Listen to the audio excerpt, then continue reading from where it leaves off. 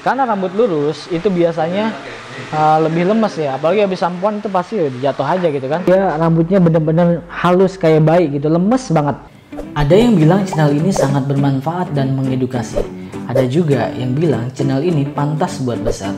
Dan tidak sedikit juga yang bilang channel ini jadi inspirasi bagi barber maupun hairstylist di Indonesia, bahkan Asia.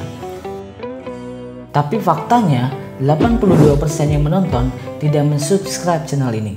Artinya, dari 100 orang yang menonton, hanya 18 orang yang mensubscribe channel ini. Jadi, support channel ini dengan cara tekan tombol subscribe agar channel ini bisa lebih berkembang dan menjadi nomor satu konten cukur rambut di Asia. Sebelum saya mulai video ini, ayo subscribe dulu.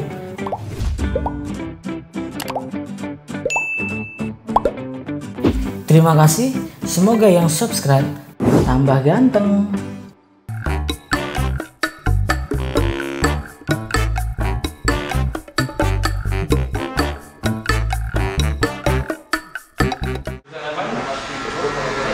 Mau potong gimana? Rapiin aja bang kiri kanan, tipisin dikit, udah. Udah gitu kan.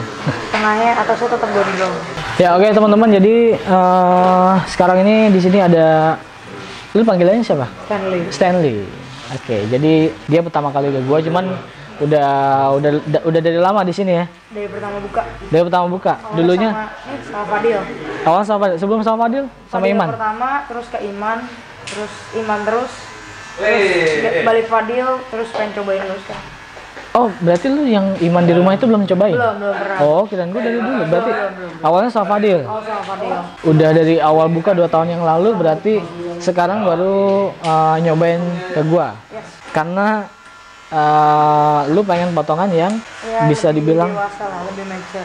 ya uh, ya bisa dibilang dia kan tadi nunjukin ini nih nunjukin foto model dia itu gaya-gaya 90-an 90s gitu kayak Leonardo DiCaprio zaman Titanic kurang lebih gitu cuman dibikin modern lagi. Jadi nanti di atasnya itu masih bisa ditata bervolume gitu. Jadi nggak dibiarin natural juga ya kan? Cuman kalau gue lihat di sini emang untuk atasnya sih masih kurang panjang sih sebenarnya. Cuman kita bakal menuju ke sana. Jadi sekarang bikin polanya dulu baru nanti eh, maksimalnya itu sekitar kurang lebih dua bulan lagi lah. Di bulan Februari nanti dia datang lagi baru bisa maksimal. Gitu langsung kita hajar ya oke jadi jenis rambutnya dia ini tipis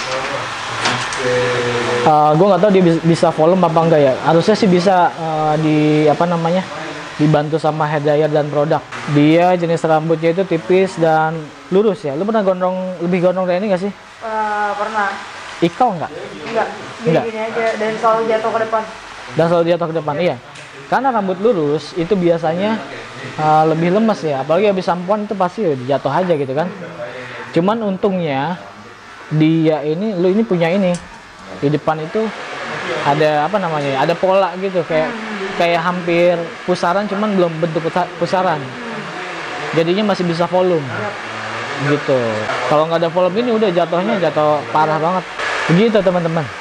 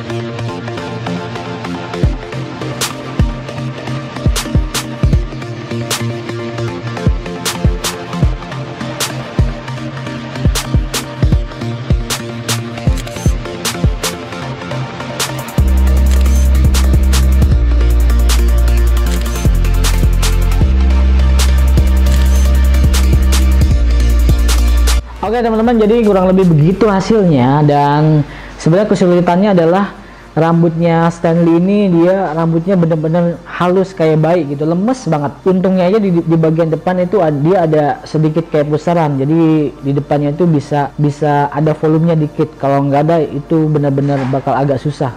Karena lemes banget. Oke buat teman-teman yang mau cukup sama gua gua itu ada di Jakarta setiap hari Kamis sampai dengan Minggu. Dan di Bekasi hari Senin dan Selasa. Caranya gimana? Caranya itu booking dulu, langsung klik link yang ada di deskripsi. Tinggal klik as, uh, habis itu isi data terus datang sesuai jamnya. Gampang banget pokoknya. Dan buat teman-teman yang mau tahu info lain uh, silahkan follow Instagram gua di @heijul sama kayak di sama namanya kayak YouTube. Oke, terima kasih buat teman-teman. Sampai jumpa di video selanjutnya. Jangan lupa sisiran.